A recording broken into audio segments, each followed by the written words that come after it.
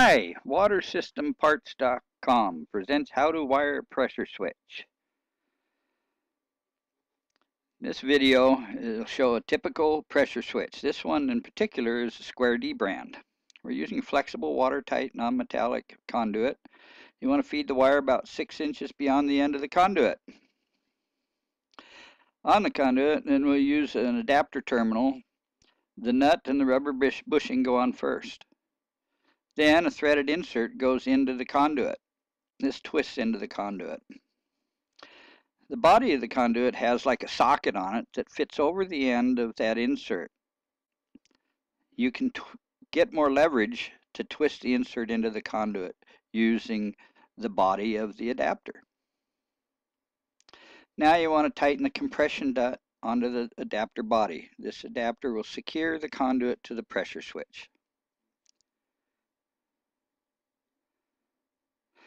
Now insert the wires through the knockout, pull the conduit adapter through, install the wire nut, uh, the jam nut. Now conduit for the other side. Again, pull the wire through the conduit. This is a different kind of conduit adapter we're using. We have slid the nut over the conduit already, and now we're uh, sliding the adapter uh, body into the conduit and now we'll tighten the compression nut onto the body. This secures the body to the conduit. There are several types of conduit adapters available for this kind of conduit. Now insert the wire through the other knockout hole. Install the jam nut and then tighten the jam nut. Tighten, now we're going to tighten both jam nuts. Be sure they're tight and secure. Strip about a half inch of insulation off the ends of the wires.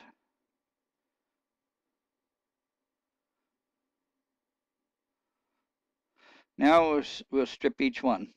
We're showing two types of wire use, solid wire and stranded wire.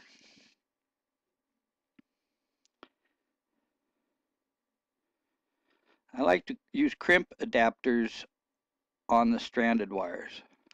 Stranded wire does not like to sit under screw terminals well. Strand wire spreads out when the screws are tightened. Then we have little wickers of wire poke out that can cause issues. Caution, be sure ground wires are all connected and tight. This is very important. This allows the ground to continue to the controller and to the pump.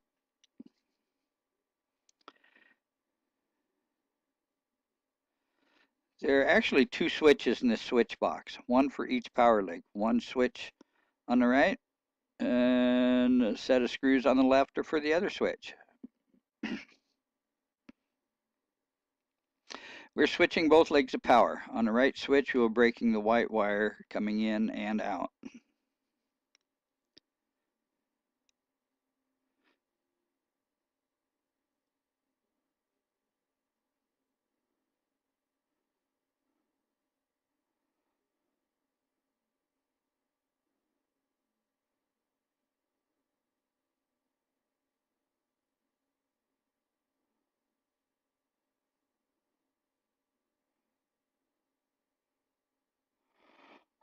Left switch, will be breaking the other leg. The black in and the black out will be switched.